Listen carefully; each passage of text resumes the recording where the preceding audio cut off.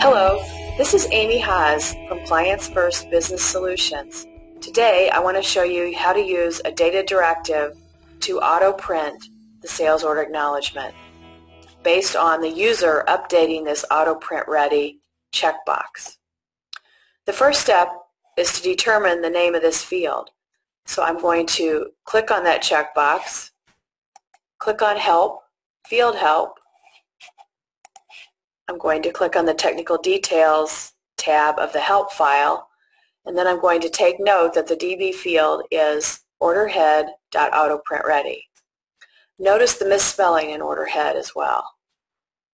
Now I'm going to uncheck this checkbox, save my order, and I'm going to go to the Data Directives Maintenance and create a data directive to auto print this sales order acknowledgement. So I'm going to open the Data Directive Maintenance. I'm going to put my table name in there, order head.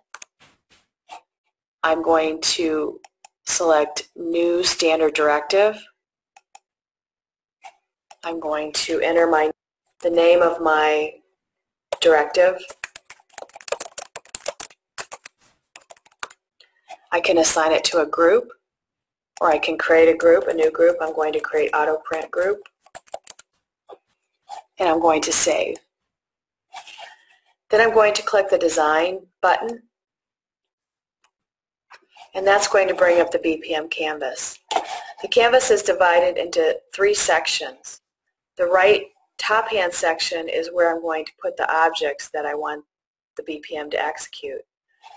The left contains the objects that are available for me to use in this BPM. And this section here allows me to add code for the objects. So the first step is to click on this condition and drag this condition object over onto the canvas. Notice the condition object has a true and a false. So we want our BPM based on a true condition when the auto checkbox gets set to true. This condition will be true and then we want to execute the auto print.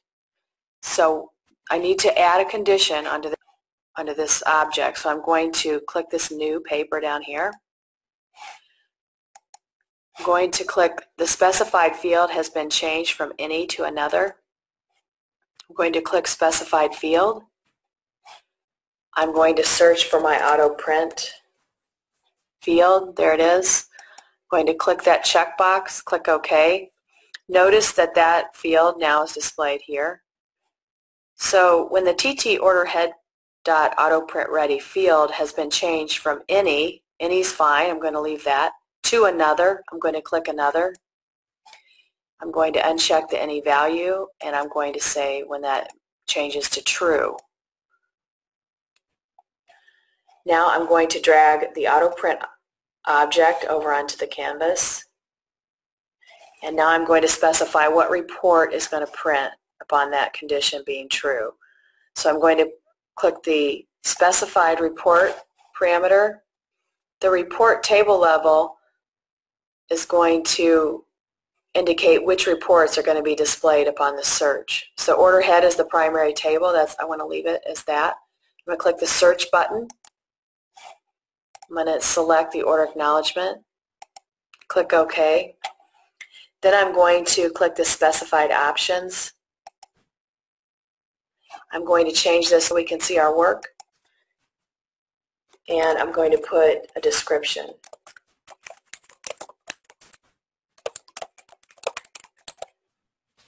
I'm going to apply those changes.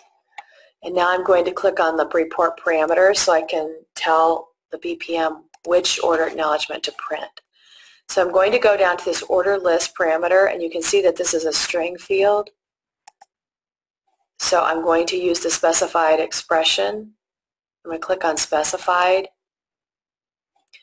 and I want to enter the order number on here. So I'm going to click on the TT order head order number field. Now this order number field, you can see here from the 1, 2, 3 is a number field. So I need a string.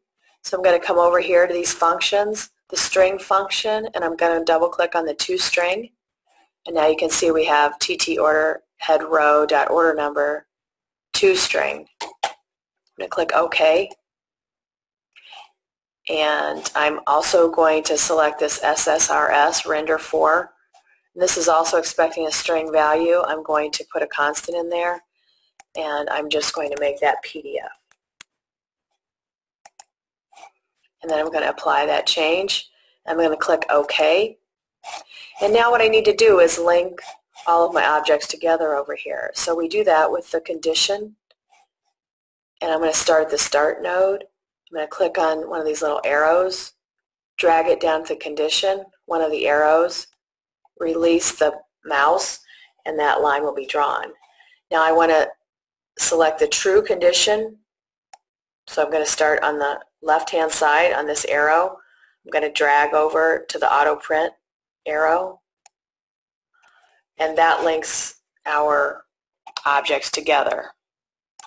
Now I'm going to save and exit. I'm going to enable this BPM and I'm going to save it and then I'm going to close it.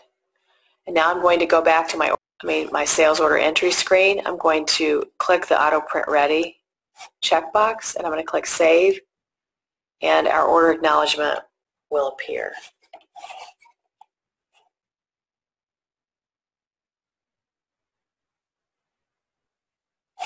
So here's our order acknowledgement that came up. So I hope this has been helpful and thank you for listening.